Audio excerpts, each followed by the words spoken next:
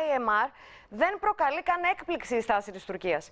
Η έρευνα που έγινε για λογαριασμό του Γραφείου Μελετών Ονίσιλος καταγράφει πολλά σημαντικά ευρήματα. Πάμε να τα δούμε στο ρεπορτάζ του Νικόλα Μαρκαντώνη.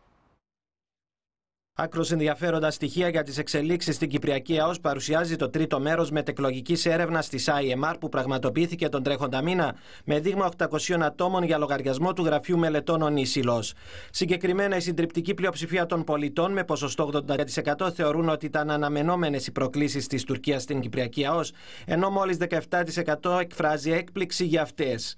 Το 80% των ερωτηθέντων πιστεύει επίσης πως ούτε για την κυβέρνηση ήταν έκπληξη τα όσα διαδραματίστηκαν στην οικονομική αποκλειστική μα ζώνη.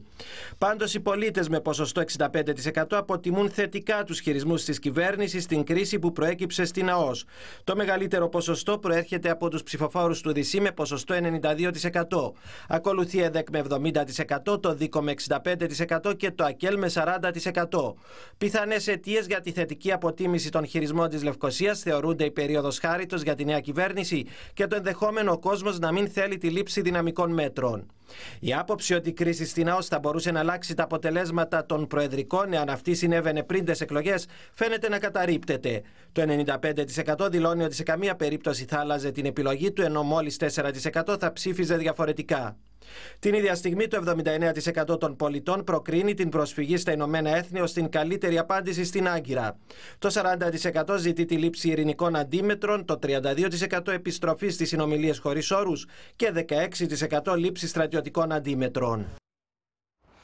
Στα του εθνικού μας προβλήματος τώρα,